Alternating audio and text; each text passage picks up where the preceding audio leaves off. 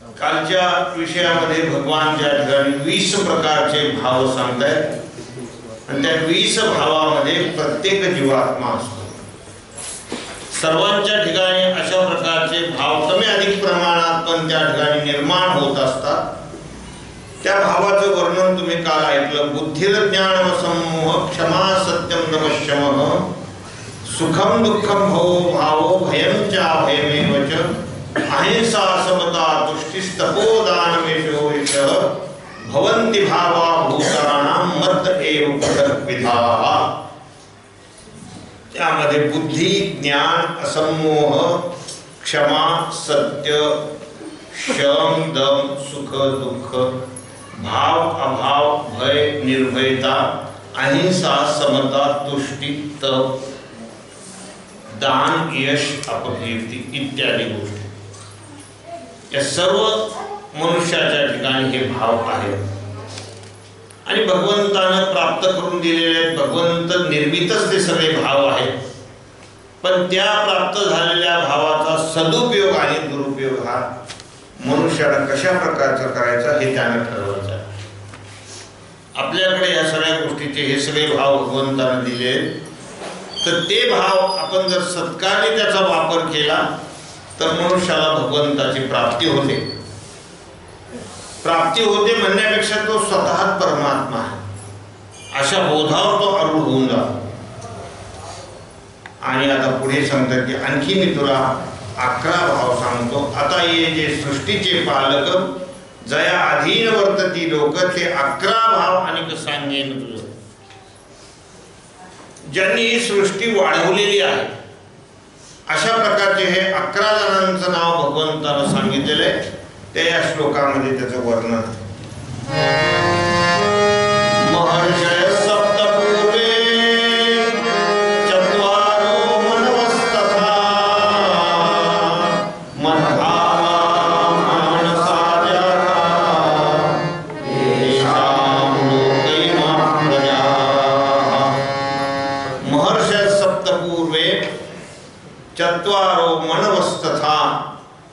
चत्वार म्हणजे चार म्हणू आणि सप्त महर्ष.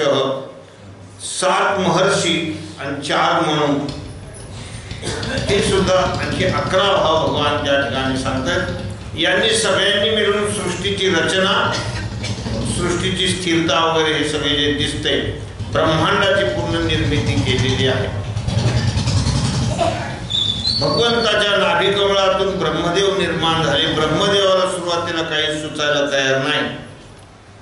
ते असे खिन्न होते. काहीच कळत नव्हतं ब्रह्मदेवाला. त्यावेळेला त्या ठिकाणी तप तप शब्द त्यांना ऐकू आला ते नाभिकमळामध्ये आतमध्ये जाऊन तपश्चर्या केली. त्यानंतर त्यांच्यापासून सृष्टी निर्माण व्हायला सुरुवात झालेली. काही अंगठ्यातून निर्माण केले. काही पायातून निर्माण केलेले आहेत. हे सप्तर्षी वगैरे वगैरे हे सगळे जे आहेत हे मानसपुत्र काही मनोच्या मनाच्या भावनेनं काही त्याला मानसपुत्र म्हणतात तशा प्रकारची भावना केली ते पुत्र निर्माण होऊन हे जे सन सनंदन सनातन संतकुमार हे ब्रह्मदेवाचे काय आहेत? मानसपुत्र आहे अशी ती शक्तीने हे सगळ्या गोष्टी निर्माण केलेल्या आहेत. तो वराहा अवतार जो आहे तो शिंकेतून झालेला आहे. ब्रह्मदेवाला शिंक आलेली एक अंगठ्या एवढं फक्त एक छोटंसं पिल्लू ते खाली पडलं ते पुढं वाढलं. आणि ती पाण्यामध्ये बुडालेली जी पृथ्वी आहे ती त्यानं आणली. तर तिथे हिरण्याक्षानं त्यांना अडवलं आणि मग त्या हिरण्याक्षाजवळ त्यांनी केलेलं आहे. आणि पुढे हे सगळे जे निर्माण केलेले सात ऋषीचं नाव आले. कश्यपांची खूप मोठी सृष्टी आहे. कश्यपांची खूप निर्मिती आहे. काय काय त्यांनी निर्माण केलेल्या ब्रह्मांडामध्ये श्रीमद भागवत ग्रंथामध्ये शुकाचार्य परीक्षिती झालेला सांगतात त्याचप्रमाणे अत्रि आहे भारद्वाज आहे विश्वामित्र आहे. काल तुम्ही ऐकले विश्वामित्राने प्रतिसृष्टी निर्माण केली. शक्तिमान अशा प्रकारच्या सगळ्या प्रकारच्या शक्ती त्यांच्याकडे होता. गौतम आहे जामदग्नी आहे. वशिष्ठ महामुनींची शक्ती तुम्ही काल बघितली. की ज्याची छाती सुद्धा त्या ठिकाणी सूर्याचं काम करते. एकाची शाटी तपिंडली एकी सृष्टीवरी सृष्टी केली हे असं एक येऊन गेलेले आहे तर अशा प्रकारचे हे सात सप्तर्षी आहेत. आणि चौदा मनू आहेत तसे पण त्याच्यातले चार प्रमुख म्हणजे चार सांगितलेले आहेत. तरी आघवाची मुनी वृद्ध जे महर्षी माझी प्रबुद्ध कश्यपादी प्रसिद्ध सप्तऋषी गाम. गा हे सात ऋषी आणि चौदा म्हणून चौदा म्हणूनचे नाव आहेत. स्वयंभू सारोचिष उत्तम तामस रैवत चाक्षुष वैवस्व सावर्णी दक्ष सावर्णी ब्रह्म सावर्णी धर्म सावर्णी रुद्र सावर्णी देव सावर्णी इंद्र सावर्णी अशा प्रकारचे किती आहेत? चौदा म्हणून सांगितलेले हे सप्तर्षी वगैरे. मग हे सप्तर्षी जे होते तर हे सप्तर्षी कशा पद्धतीचे होते? तर ते सगळे दीर्घायुष्य. होते एवढं मोठं सगळं ब्रह्मांड निर्माण करायचं तुमच्या आमच्यासारखं तोडकं मोडकं आयुष्य निर्माण हो जमणार आहे का सांगावर काय तर म्हणले पन्नास वर्ष जगतो तर साठ वर्ष जगतो याच्यात काय होणार आहे? खूप दीर्घायुष्य होते. कल्पकल्प अशा प्रकारचे त्यांना आयुष्य होते. मंत्रदृष्ट्य होते म्हणजे त्यांना मंत्र तंत्रशक्ती सगळे येत होत्या. त्यांच्या मंत्रामध्ये फार मोठं तप आहे. एखादं मंत्र त्यांनी त्या ठिकाणी म्हटलं तर त्या मंत्रातल्या ज्या काही फलित सांगितलेल्या त्या गोष्टी निर्माण होतात. असे ते मंत्र दृष्टी होते. म्हणून काही काही ऋषी ऋषीमुनींनी प्रभू रामचंद्रांना सुद्धा मंत्रशक्ती शिकवलेल्या आहे अगस्ती मुनी वगैरे यांनी मंत्रशक्ती तंत्रशक्ती सगळ्या शिकवल्या. कोणत्या बाणावर कोणता मंत्र अभिमंत्रित केला म्हणजे तो बाण त्या ठिकाणी याचं काम करेल. वेगवेगळ्या प्रकारचे मंत्रशक्ती शिकवलेल्या आहेत. म्हणून बघा कधी कधी ते आपल्या रामकथेमध्ये याच्यामध्ये दाखवतात ना रामायण. त्याच्या युद्धाच्या वेळेला. ते असं बाण काढतात आणि असे मंत्र त्याच्यावर हे करतात. मंत्र टाकला की त्या बाणाची तशी शक्ती निर्माण होऊन जाते. म्हणून असे काही मंत्रदृष्टे होते. सामर्थ्य संपन्न होते ते सगळे. अनेक प्रकारचे सामर्थ्य त्यांच्या ठिकाणी होते. आता एवढं मोठं सामर्थ्य आपल्या अंगावरच्या पंचानं सूर्याचं काम करावं आपल्या हातातल्या काठीनं शेषाचं काम करावं पृथ्वीचं भारवहन करण्याचं काम करावं म्हणजे काही सामान्य गोष्ट झाली का सांगा सामान्य गोष्ट. आणि आपल्या कमंडलूमध्ये समुद्र साठवून टाकायचा. कमंडलूमध्ये समुद्र साठवून टाकायचा. म्हणजे हे काही सामान्य गोष्ट. किती सामर्थ्य आहे? असे ते सगळे सात ऋषी जे आहेत ते सामर्थ्य संपन्न होते. दिव्य दृष्टी असलेले होते. त्यांना दिव्य अशा प्रकारची दृष्टी होती. म्हणजे आपली सामान्य नजर आहे. जसं संजयाला व्यासांनी काय दिली होती? दिव्य दृष्टी दिली होती. हे सगळं दे दिसण्यासाठी. भगवंतानं सुद्धा अर्जुनाला विश्वरूप बघण्यासाठी काय दिली? दिव्य दृष्टी दिली. दिव्यम ददामी ते चक्षु. दिव्यम ददामी ते चक्षु. मी तुला दिव्य अशा प्रकारची दृष्टी देतो कारण सामान्य चर्मचक्षुनं तू हे रूप बघू शकणार नाही. हे पुढे अकराव्या अध्यायामध्ये तुम्हाला ऐकायला मिळणार तसे हे जे सप्तर्षी होते हे दिव्य दृष्टीचे होते विद्येनं श्रेष्ठ होते तपाने वृद्ध होते धर्माचा साक्षात्कार असलेले होते गोत्र प्रवर्तक होते अशा अनेक गुणां गुणविशेषांनी ते विशेष अशा प्रकारचे होते. आणि अध्ययन करणारे अध्यापन यजन याजन दान प्रतिग्रह ब्रह्मचार्यांना शिकवण्याकरता घरामध्ये घर घरकुल निर्माण गुरुकुल निर्माण करणे अग्निहोत्र करणारे होते ग्रस्थाश्रम जरी ते करत असले तरी ग्रस्थाश्रमात त्यांचं फार नियमात होतं ते सगळं काम. याला म्हणायचं ग्रस्थाश्रम की धर्मपत्नीबरोबर आपण ते ग्रस्थाश्रमाचा स्वीकार करतो तिच्याशी कशा प्रकारचं वर्तन करावं? आणि तो ग्रस्थाश्रम कसा असावा? त्याच्यात कसं त्यागी जीवन जगता येतं हे त्यांच्याकडून शिकण्यासारखं ग्रस्थाश्रमाचं परमपूज्य आदरणीय वैकुंठवासी डोंगरेजी महाराजांना ज्यावेळेला त्यांच्या मातोश्रीने वगैरे विवाह करायचा सांगितला. तर त्यांनी मुलीलाच अगोदर सांगितलं होतं की बारा वर्षापर्यंत विवाह झाल्यानंतर तपश्चर्या करावी लागेल. गृहस्थाश्रमाचा एकही कुठलाही व्यवहार होणार नाही. तीही कन्या किती अधिकार संपन्न असेल तिनं ते स्वीकार केलं नंतर त्यांचा विवाह झालेला आहे. तर सांगण्याचं तात्पर्य असं की अशा प्रकारचं हे सगळं कपिल महामुनीचं सुद्धा तुम्ही चरित्र असंच आहे. ते जे अवतार निर्माण झाला त्यांचे जे वडील त्यांचं काय नाव? कपिल महामुनी देवभूती. कर्दम ऋषी बरोबर तर कर्दम मुनीनं सुद्धा देवभूती बरोबर विवाह केला ना तर कितीतरी वर्षापर्यंत तपश्चर्या करत होती. ती तिचं शरीर असं कृष्ण झालं. तिनं ती किती निष्ठावान असेल? आता हल्ली तर एक शब्द सहन करत नाही मी. पतीचा एक शब्द सहन करत नाही. एखादी प्रतिकूल गोष्ट असलेली सहन करत नाही. एखादी प्रतिकूल असलेली गोष्ट सहन होत नाही. घरामध्ये धिगाणे घालून टाकते किती प्रतिकूल काळ होता. अरण्यामध्ये राहायचं खाण्यापिण्याची व्यवस्था नव्हत्या. कंदमूल फल वगैरे खायचं. आणि पुन्हा आपला पती बोलत पण नाहीये. कर्दमुनी तपश्चर्येमध्ये ते बोलत पण नव्हते. अशा स्थितीमध्ये तिने सेवा केली. शरीर कृष्ण झालं होतं. आणि नंतर ते ज्यावेळेला त्याच्याकडे बघू लागले त्यावेळेला मग सांगितलं तुला तुझ्यावर मी प्रसन्न झाले तू खूप सेवा केली. काय पाहिजे? मग तिनं सांगितलं की ग्रस्ताश्रम यामध्ये पुत्ररत्न असणं गरजेचं आहे. वंशाला दिवा असला पाहिजे. मग तिथून पुढे तिला सांगितलं गंगेमध्ये स्नान करू नये शरीर असं वाळून गेलं होतं. एकदम काळीसारखं झालं. जसं गंगेमध्ये स्नान करून आले तर तारुण्य तिला प्राप्त झालं. खूप सुंदरता निर्माण झाली. आणि मग यांनी पण दिव्य शक्तीनं सगळं तारुण्य वगैरे प्राप्त करून घेतलं. आणि मग त्यांनी बऱ्याच बगीच्यामध्ये इकडे तिकडे विहरण केलं. नऊ मुली त्यांना झाल्यानंतर कपिल महामुनी वगैरे झाले. म्हणून त्यांचा जो ग्रस्ताश्रम आहे तो सुद्धा विशेष अशा प्रकारचा आहे.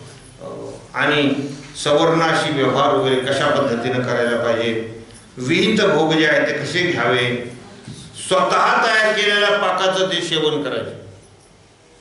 म्हणजे कुणाच्या हाताचं वगैरे खायचं नाही काही नाही. आपण स्वतः स्नान करणं शुचिरभूत अवस्थेमध्ये पाणीचा हंडा आणणं आणि स्वतः हातानं स्वयंपाक करून त्या ठिकाणी जेवण करणं. अशी पावित्र्य अन्नाची शुद्धी असते तसे. अन्न हे कुठेही माणसानं खाऊ नये. त्याच्यामध्ये त्या त्या घरातले त्या त्या त्यांच्या आचरणाचे संस्कार त्या अन्नावर असतात. म्हणून अगोदर काही काही कीर्तनकार मंडळी हाताला वगैरे खायची भागवतकार मंडळी त्यांच्या धर्मपत्नी बरोबर आले तर ठीक आहे नाही तर ते हातानं स्वयंपाक करायचे. हातानं का? गावोगावी मी लहान होती त्याला आमच्या वडिलांच्या बरोबर जायचे होते ते आमचे वडील स्वतः करायचे. काय भाजी पोळी पिठलं पोळी जे असेल ते स्वतः बनवायचे आणि ते जेवण करायचे. त्यांच्याबरोबर पंढरपूरला आम्ही गेलो तर पंढरपूरला ते जवळजवळ दहा एक जणांचा स्वयंपाक स्वतः करायचे. दहा जण होते. लोक ते स्वतः करायचे. मला तर काही येत नव्हतं. आमच्या विठ्ठल बोला येत होत्या गोष्टी काही त्याच्यातल्या. ते मदत करायचे खूप त्याला मला काहीच मदत नाही. उलट मला वारकरी लोक नाव ठेवायचे. नुसताच आपला. असं म्हणायचे. आता मला येतच नाही तर मी काय करणार सांगा हा मला विहिरीत पोहता येतो मी पोहत होतो. बाकी काही करत नव्हतं. तर ते स्वतः बनवायचे. पुन्हा गावातून कोणाचा शिधा सांगून वगैरे घेत नव्हते. इथून घरूनच ते सगळं शिदा घेऊन जायचे. कोणाचं काही स्वीकारत नव्हते. गावातून कोणाकडून दूध आणलं तरी ते विकत आणायचे. आता महाराज फार कट कठीण गोष्ट आहे. अशा प्रकारचे महात्मा पुरुष डोळ्यांना दिसणं सुद्धा. गेले होऊन या ईश्वर दिगम ईश्वरी होती राहिल्या त्या कीर्ती जगामध्ये. झाले झाले. अशा प्रकारचं आता बघायला पण मिळणं फार कठीण आहे. तर अशा प्रकारे ते स्वतः सगळ्या गोष्टी करायचे. कधी त्या ठिकाणी नगरामध्ये जायचं सर्वांना आपल्या शब्दापासून आपल्या आचरणातून आनंद निर्माण करून द्यायचं? कधी नगराच्या बाहेर कुठेतरी एकांतात राहावं? गोधन वगैरे संपन्न असायचे. ते ऋषीमुनी गायी चांगल्या प्रकारचे पालन करायचे गायीची सेवा करायची गाईला चारा देणं फिरवणं पाणी पाजणं या सगळ्या गोष्टी ते त्या कराय करायचे ते ऋषीमुनी. आणि प्रत्येक युगायुगामध्ये वर्णाश्रम धर्माची व्यवस्था लावणं प्रत्येक वर्णाच्या लोकांना व्यवस्थित रीतीने सांगणं की तुम्ही ब्राह्मण आहात क्षत्रिय आहात वैश्य आहात शूद्र आहात तुमचे काय धर्म आहे? तुम्ही तुमच्या धर्माच्या आचरणानंच राहा.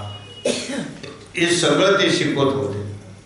वेदवेदार्थ जाणणे सर्व गुणांनी जे संपन्न होते. त्याच्यामध्ये ते वयोवृद्ध त्या सगळ्या गुणांनी वयोवृद्ध तपोवृद्ध ज्ञानवृद्ध अशा प्रकारचे ते होते.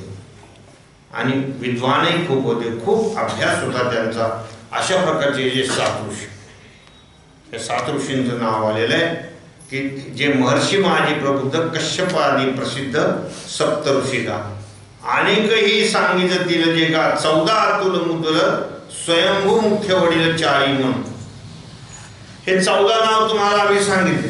त्या चौदा नावाचे चार म्हणून मुख्य प्रामुख्यानं सांगितलेले आहेत. हे स्वयंभू म्हणून शतरूपा जे आहे ते ब्रह्मदेवानं निर्माण केलेलं जोड पाहिजे.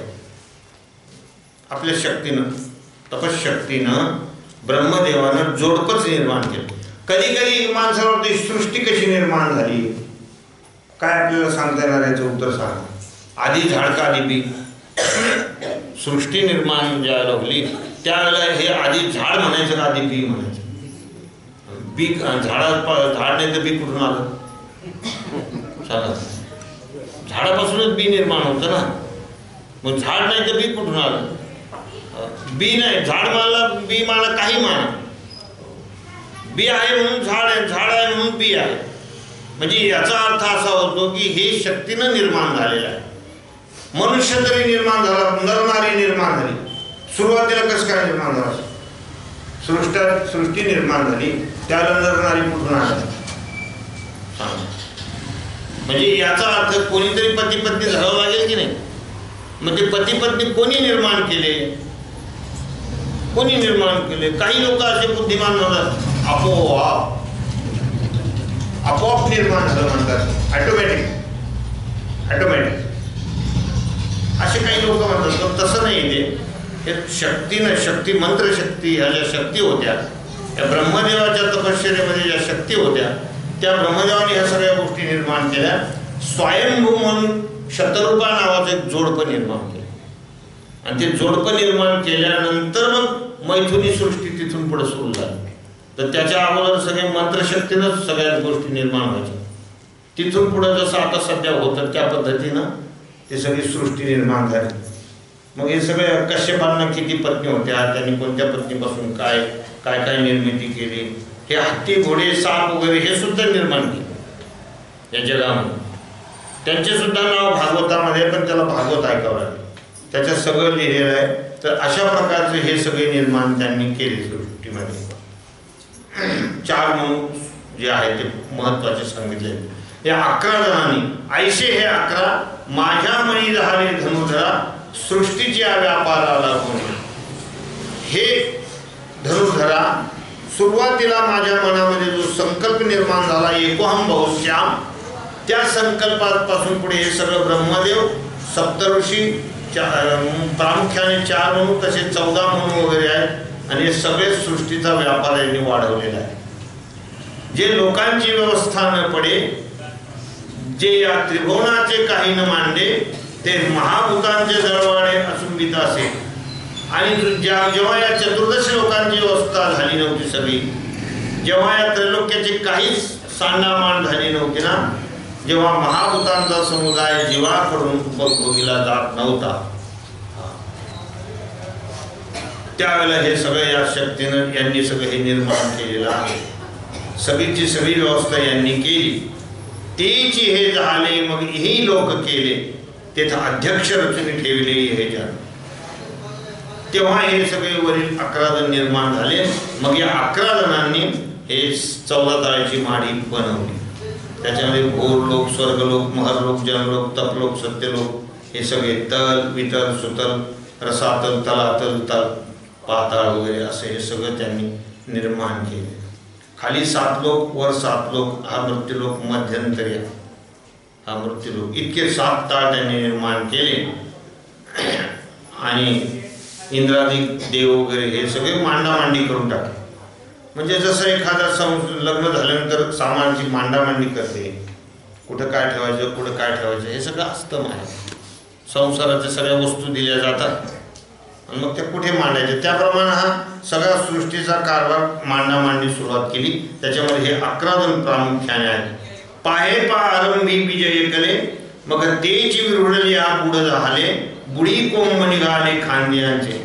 सुरुवातीला बघितलं तर एकतर बीजच असतं मग ते बीज अंकुर पानं वाढलं.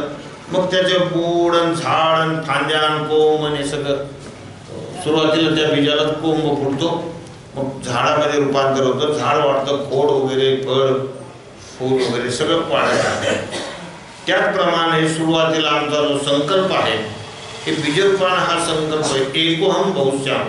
एकटे न एकटेची एकली न कंठेची म्हणून या येणे असे. एकले न कंठेची म्हणून या येणे. केली निर्माण चौदाही भुवनी. गगन चंद्र सूर्य मेघ तारांगणी पाचही महाभूते भौतिके. भिन्ने भिन्ने वो.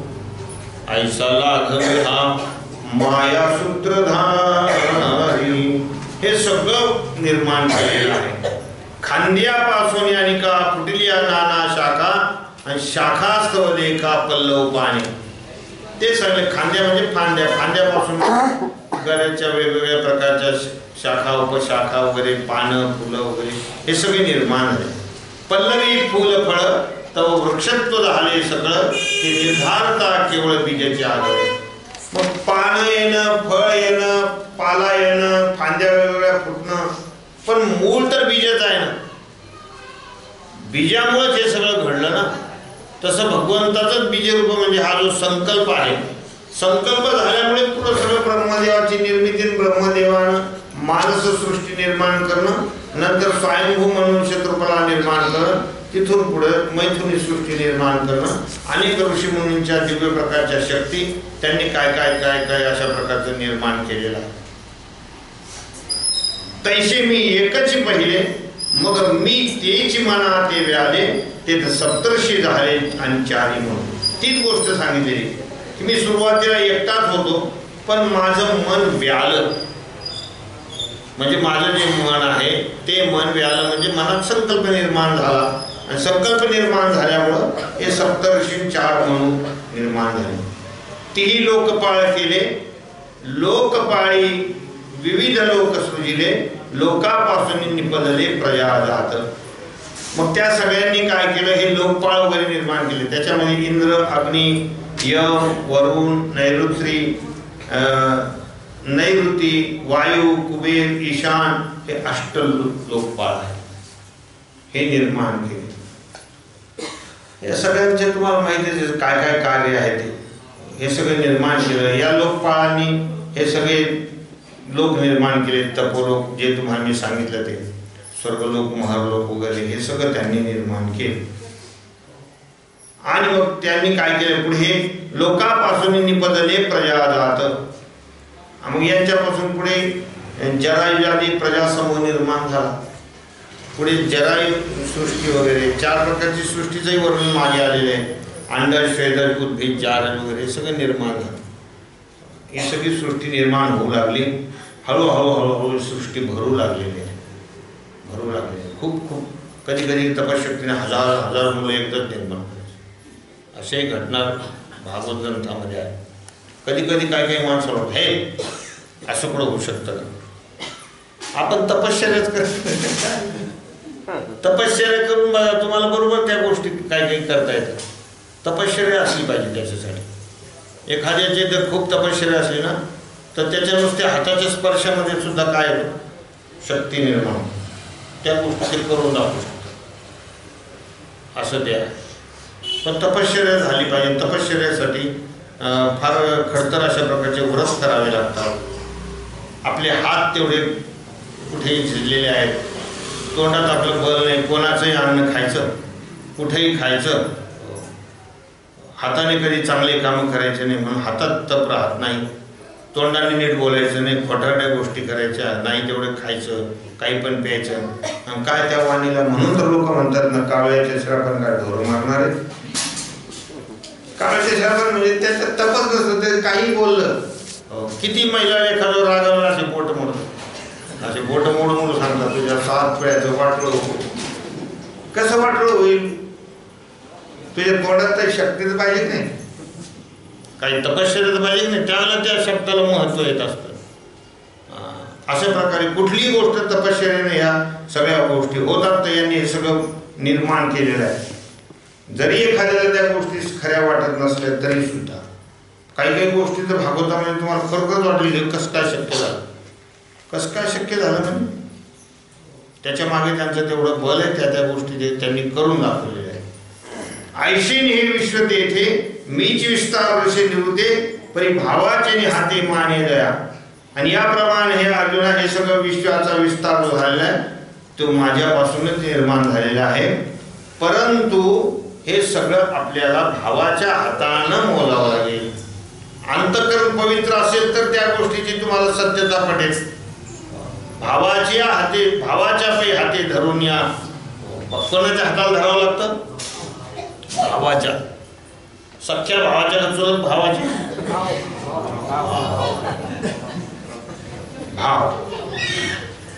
म्हणजे अंतकरणामध्ये श्रद्धा भाव निर्माण असला पाहिजे. त्या भावाच्या हाताला धरून तर तुम्हाला ह्या गोष्टी मान्य होतील ह्या खऱ्या वाटतील. ज्यांच्याकडे तशा प्रकारचा भावच नाही त्यांना त्यामध्ये वाटत असतं की खोट्या गोष्टी काहीतरी यांनी आपलं लोकांची रम करमणूक होण्याकरता वाढून चढून लिहिलेलं आहे. आणि असं पुढं होऊ शकतं का? असं होऊ शकत नाही. त्या भारद्वाजाची जी कथा आहे तर ते अगोदर तर त्या म्हणतात तिथं गर्भ होता तिच्या उदरामध्ये. पुन्हा दुसरा गर्भ तिथं स्थापित करून त्याला निर्माण केलं यांना यांचा वंश बुडून नये म्हणून तिथे आणून दिला त्या बरोबर अशी कथा आहे मग. कोणाला असं कसं काय घडतं? घडतं नाही त्यांनी घडवून के दाखवलेलं त्या गोष्टी करून दाखवलेल्या आहेत. काही काहींच्या गर्भावर लात मारून त्या गर्भाला बाहेर काढलेले अश्मक नावाचं जे कथा आहे. लात मारून. त्याचं त्याचा पुढे काय काय कार्य आहे त्याच्यापासून हे सुद्धा दाखवलेलं आहे. एका स्त्रीच्या गर्भामध्ये इंद्र घुसून त्याला त्याचे एकोणपन्नास तुकडे केले. मरून गण वगैरे हे कसं काय घडतंय? कोणाला वाटेल हे कसं काय घडतं? घडतं म्हणजे झालेलं आहे. हे सगळ्या गोष्टी आहेत. कौरव काही तुम्हाला वाटतं शंभर वेळेला डिलिव्हरी झाली का त्याची? कोणाची? गांधारीची. तुम्हाला काय वाटतं शंभर वेळेला हॉस्पिटलमध्ये गेली? असं वाटतं का? का शंभर वेळेला शेजारी झाली? एकदाच झालेले नाही. एकदाच झाले. आणि त्याचे शंभर तुकडे करून शंभर गाड्यामध्ये ते स्थापित केलेले आहे व्यासाने. शंभर मडक्यामध्ये. ते असं स्थापित करून त्याला test tube baby test tube ते स्थापित करून त्याच्यातून ते शंभर कवरून निर्माण झाले. अशी शक मग तुम्हाला कधी गोष्ट वाटेल? अरे बाप हे काय खरंय का? हे असं होऊ शकत नाही. ते होऊ शकत नाही. महार मानतच नाही मग तुम्हाला जर तिथं भाव नसला की असं होऊ शकत नाही. काही बुद्धिमान म्हणतात इम्पॉसिबल ते गाडी आणि याच्यात आणि त्यांनी कसं काय त्यांना नऊ महिने त्याच्यात सा लहानाचं मोठं केलं आणि त्यांना कसं काय बाहेर काढलं हे सगळं खोटारल्या गोष्टी असं जर तुमच्याकडे भाव नसला तर मग तुम्ही महाभारत हा शब्द सुद्धा तुम्हाला तो काढायचा नाही. तुम्हाला ते ऐकण्याचाच अधिकार नाही. तुमचे जर याच्यावर भाव नसला व हे असं घडलेलं आहे. असा जर भाव नसला तर ते तोंडातून काढायचं नाही. अशा सगळ्या गोष्टी आहेत. गांधारीची सुद्धा दिव्यताच आहे मला ती सुद्धा एक दिव्य पतिव्रता स्त्री आहे ती. आपले पती स- व्हायच्या अगोदर आंधळे हे वृत्तीनं तेव्हापासून पट्टी डोळ्याला त्यांना दिसत मी मला काय करायचं ते पाहू त्यांना नाही चालत तर मला काय करायचं? आहे अशी गोष्ट आहे मला. किती त्याग. आता होईल असं? त्यांना शुगर आहे त्यांना गोड चालून ही लाडू होती पुरी थंडी त्याच्यातच पाहणाऱ्याला थंडी वाजून येते एवढीच तर हे असं असे काय गोष्टी ते दिव्यता तर न्या गांधारीची किती मोठी तपश्चर्या आहे?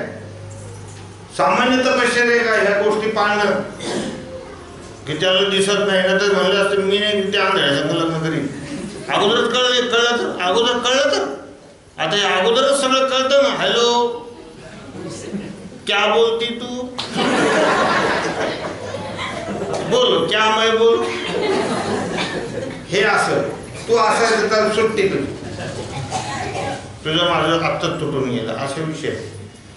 म्हणून हे सगळ्याच्या सगळ्या गोष्टी दिव्य आहेत. तुमच्याकडे जर भावाचा हात असला भावाच्या हाताला धरलं तर तुम्हाला त्या गोष्टी योग्य वाटतील आणि तुम्हाला खरं वाटणार. ते सगळ्या गोष्टी खऱ्या आहेत. त्याच्यात एकही गोष्ट कुठेही पोट ठेवायला जागा नाही. पण तुमच्याकडे काय असलं पाहिजे? परिभावाचे नि हाते मानेल जाय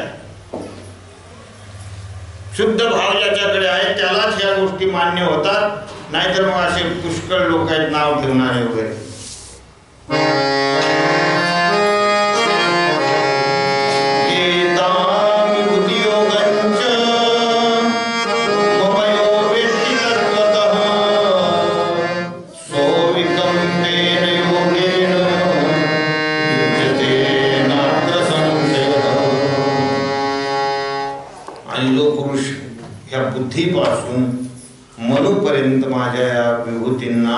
ऐश्वर्योगाला ऐश्वर योगाला यथावत स्वरूपाने जाणतो ना तो स्थिर अशा ज्ञानलक्षण भक्तीने युक्त होतो या सगळ्या गोष्टी माणसं जे जाणतात त्याला त्या ठिकाणी त्याची बुद्धी स्थिर होते आणि ते ज्ञानलक्षण भक्तीनं तो त्या ठिकाणी श्रेष्ठ बनतो त्याच्या ठिकाणी ती राबते ज्ञानयुक्त भक्ती.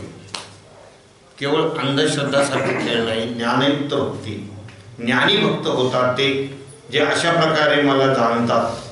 या लागी सुभद्रापती हे भाव या माझ्या विभूती आणि यांची या व्याप्ती व्यापिले जग. म्हणून हे सुभद्रापती हे अर्जुना हे अकरा भाव म्हणजेच माझ्या या विभूती आहेत. हे जे तुला मी अकरा जण सांगितलं ना चार म्हणू प्रामुख्यानं आणि सप्तऋषी हे मीच आहे. माझ्या विभूती म्हणजे माझ्या शक माझ्या इतकेच ते शक्तिमान आहे कश्यप काय जितक्या गोष्टी भगवंताला करता येतात तितक्याच गोष्टी त्यांनाही करता ते सुद्धा परमात्मा मीच आहे त्या हे आपल्याला कळालं पाहिजे ना.